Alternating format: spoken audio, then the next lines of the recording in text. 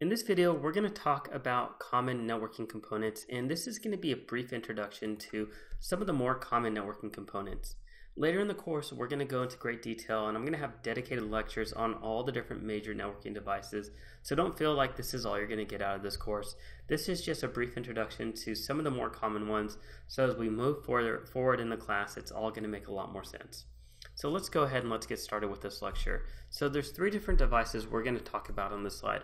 We're going to talk about routers, firewalls, and switches. And before we get into that, here's a basic network diagram at the bottom.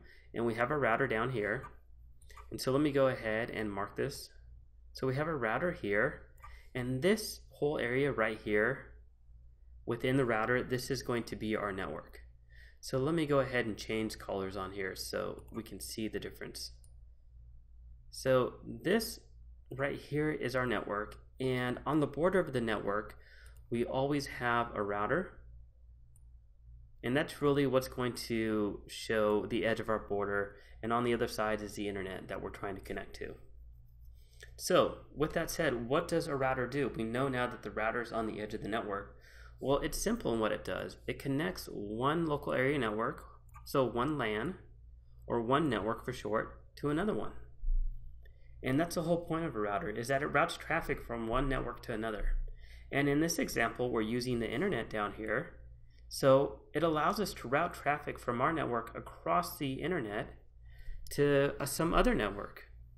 And if we think about it, remember when we talk about the internet, remember it's nothing more than multiple networks connected to together. So we can call that an internetwork, or we can call it a wide area network. And remember, a wide area network it is nothing more than multiple local area networks connected together. So let me just go ahead and type in WAN. And remember, the internet is nothing more than a wide area network. So that's what a router does. Now let's talk about the firewall. And let me go ahead and circle the firewall as well, and we'll use a different color. So here's our firewall. And you'll notice here is that we have our local area network, and right on the inner edge border of our network is a firewall.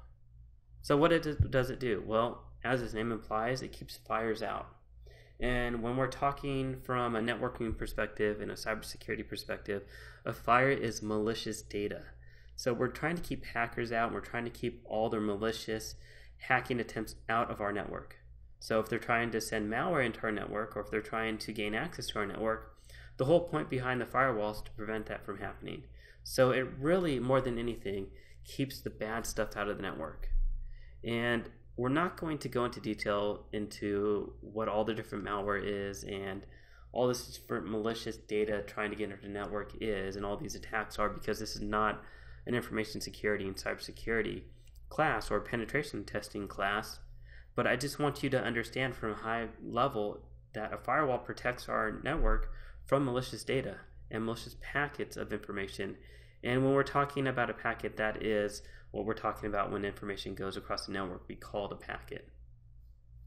So lastly, let's talk about a switch. And let me go ahead and circle the switch as well with a different color. So here's our switch. Once we move further into our network, so we go from one device to the next. And let me go ahead and use my arrow and we'll go ahead and use this in red.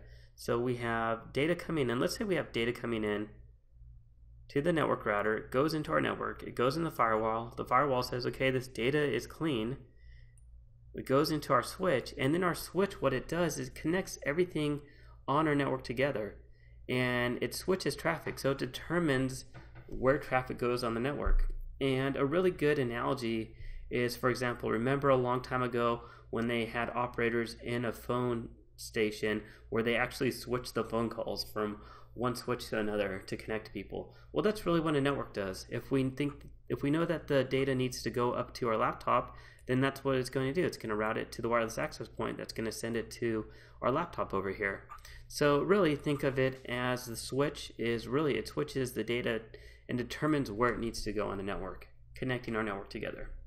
So that's how these three different devices work in combination together to get data where it needs to go on our network. We have our routers that route data across one network to the next.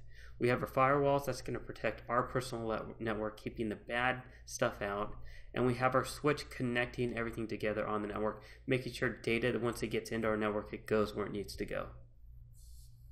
So now let's talk about servers. So we talked about servers in our previous lectures. We talked about the client server architecture, but I want to just, just quickly discuss with you some of the more common types of servers. And this is going to be a quick discussion. So there are different types of common servers that you're going to see on a regular basis, and let's talk about them. So we have authentication servers.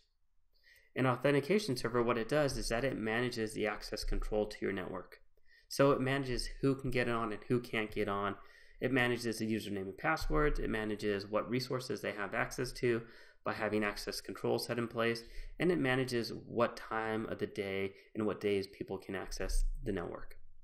A file server, as its name implies, it manages and stores the files on the server. So it stores the files, and as people need them, it gives it to them. And when they're done, it stores them again. The mail server, well, you know, it's like the post office. It's like the digital post office because the mail server is what handles the emailing functionality of your network. So if you have Outlook set up and you need to send emails from other people on your network, that's what the mail server does. The print server, again, as the name implies, if you need to print something out to one of the printers on the network, well, that's what the printer server is there for. It's there to manage the print jobs on the network, and it's there to give different people and different resources higher priorities and different priorities on different printers on the network. Now, web server, that's if you have a public website set up or if you have an internal intranet set up for your company, that's where you're going to host that so everybody has access to that.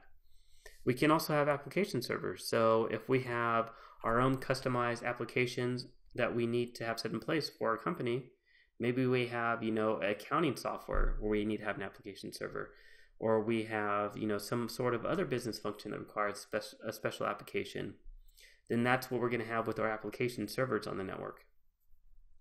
And then data typically stored from applications usually go to database servers. So many applications store their data in a database and, um, and you know a majority of the different systems out there are going to be doing that. So you're going to have database servers set up in place to store your data and so there are simple role is just simply to manage the data in a database. So that's our common networking components.